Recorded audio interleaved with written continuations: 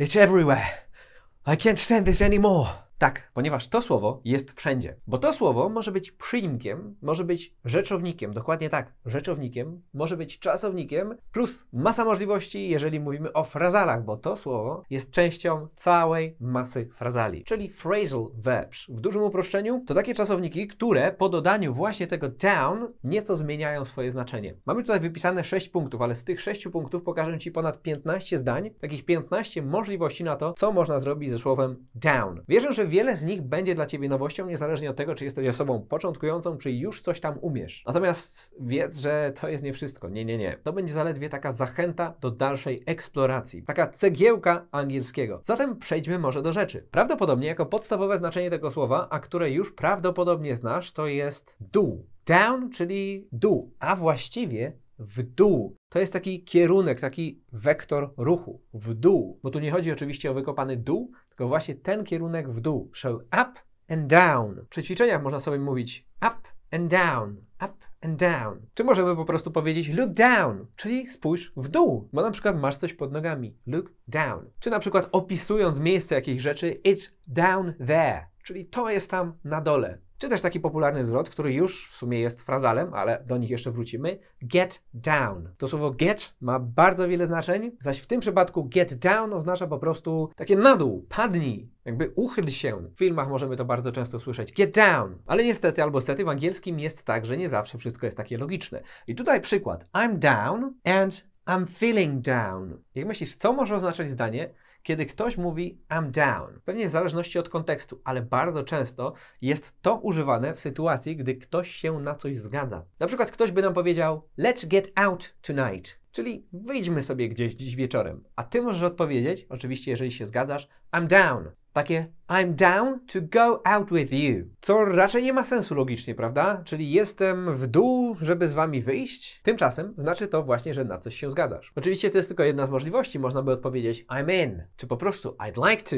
Zaś co w przypadku I'm feeling down, czyli takie czuję się down. Tu akurat można sobie to łatwo skojarzyć. Czuję się zdołowany, czuję się niezbyt dobrze. Zrozumiemy to po prostu jako czuję się kiepsko. So, I feel a bit down. And I'm down to go with you. Kolejną rzeczą i kolejnym znaczeniem tego słowa down podpowiem, że jest to rzeczownik i to jest coś, co mnie bardzo zaskoczyło w przeszłości. Gdy się o tym dowiedziałem, to było to dla mnie duże zaskoczenie. Ale zanim powiem Ci o znaczeniu tego słowa, to być może kiedyś w przyszłości natkniesz się na coś takiego jak down pillows, czyli to słowo down i poduszki, albo down quilt, czyli to słowo i jakaś kołdra. No i czy to chodzi o jakieś dolne poduszki? Poduszka może do spania na podłodze? Nie, prawda jest znacznie prostsza. Down oznacza także puch. Tak, taki puch, czyli rodzaj piór. So down feathers, czyli pióra. Tak więc down pillow to po prostu puchowa poduszka. Poduszka wypchana puchem. Słowo down może być także częścią, członem wielu innych rzeczowników, wielu innych słów. I takim ciekawym słowem może być słowo downturn, czy Amerykanin powie bardziej downturn, czyli takie w dół and turn, jakiś obrót, zwrot, czyli taki obrót w dół. Za chwilę dojdziemy do jego znaczenia. Natomiast to słowo może być ciekawe dla korporacji, dla biznesu, dla ekonomii. Jeżeli pracujesz w tego typu branżach, to z pewnością spotkasz się z tym słowem, chociaż ono nie ma fajnego znaczenia, ponieważ ono oznacza jakiś taki spadek, ale jest to taki właśnie ekonomiczny spadek, jakiś spadek liczbowy, że idzie sobie jakiś wykres i on nagle spada. Mamy spadek z tytułu na przykład gorszej sprzedaży. I tutaj zdanie z tym słowem od Tonego. Tak, on zna różne mądre angielskie słowa, bo jest Amerykaninem, więc poprosiłem go o jakiś ciekawy przykład. Tony wiele razy był częścią różnego rodzaju projektów związanych z Enlinado i pewnie jeszcze nie raz będzie. Dlatego warto śledzić Enlinado, ponieważ ja podaję Ci tutaj przykłady z życia, rzeczy praktyczne. The sales are downright terrible. There is a sudden downturn in the market. I tutaj pojawiło nam się kolejne słowo z częścią down, czyli downright, które oznacza takie, takie naprawdę, takie rzeczywiście. Jeżeli chcesz podkreślić jakieś słowo i mam wrażenie, że częściej negatywne słowo, jakby następstwo czegoś negatywnego, to można sobie użyć tego słowa. To dla nieco bardziej zaawansowanych, a całe zdanie właśnie oznacza, że sprzedaż jest naprawdę okropna. I jest nagły spadek na rynku. Było dobrze, ale pojawił się downturn, czyli ten skręt w dół. Wiele rzeczy z czasem można sobie wydedukować. Na pewnym etapie angielskiego już będziesz mieć tę umiejętność, że będziesz w stanie wydedukować wiele właśnie na podstawie swojej wiedzy i umiejętności. I kolejną rzeczą, której nie mogło zabraknąć są frazale.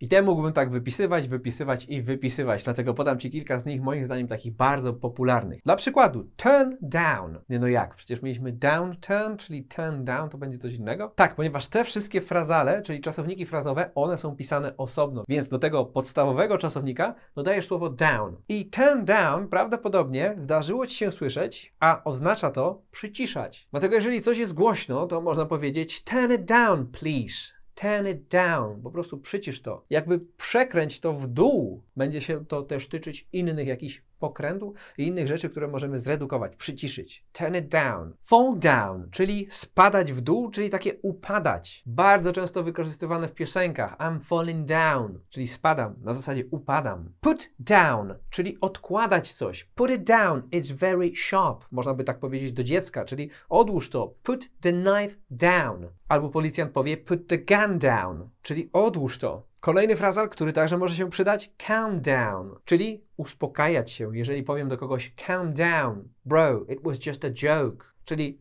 uspokój się, wyluzuj, to tylko był żart. Albo na przykład jestem zdenerwowany, wait a second, I need to calm down, czyli Poczekaj, ja muszę się uspokoić. Jeżeli któryś z tych jest dla ciebie nowością, to koniecznie sobie je przerób, koniecznie je sobie przewałkuj, bo one są naprawdę bardzo popularne. Czy track down, może już taki nieco bardziej wyszukany, czyli śledzić. Jakby track down, namierzać. The police will track you down. Czyli policja cię namierzy. I tutaj jeszcze zostawiłem na koniec jeden, który też jest ciekawy, jeżeli chcemy coś ograniczyć, ponieważ cut down on something cut down on something oznacza właśnie ograniczać coś, jakby ucinać na czymś. Ma to sens, prawda? I need to cut down on drinking energy drinks, czyli muszę uciąć na piciu napoi energetycznych.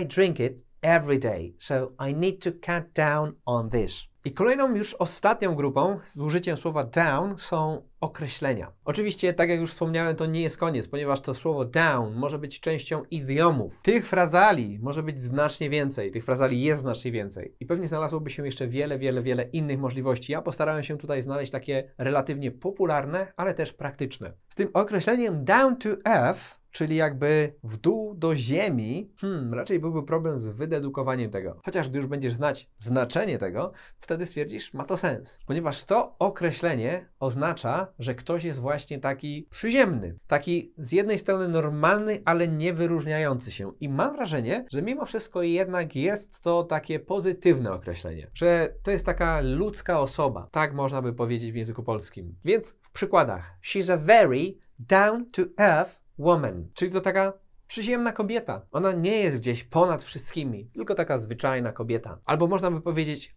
I love your down to earth approach, czyli lubię takie twoje zwyczajne, przyziemne podejście, że nie jesteś above, tylko jesteś właśnie down to earth. Czy dziewczyna mogłaby powiedzieć I don't need a hero, I need a down to earth boyfriend. Dziś ona nie chce bohatera, chce zwyczajnego, przyziemnego chłopaka. Dodam jeszcze tylko, że zdecydowałem się zrobić ten materiał, ponieważ prosiliście mnie o to w komentarzach. Jeżeli macie jakieś pytania, jakieś problemy, jakieś zagadnienia, no może poza pożyczeniem pieniędzy, to koniecznie dawajcie znać w sekcji komentarzy. Daj też znać, czy któreś z tych słów było nowe, czy któreś się wydaje ciekawe, czy któreś z tych zwrotów, określeń Cię zaskoczyło. Możesz też coś po sobie pozostawić, będzie mi z tego powodu bardzo miło. Pozdrawiam serdecznie, do zobaczenia, do usłyszenia. Cześć!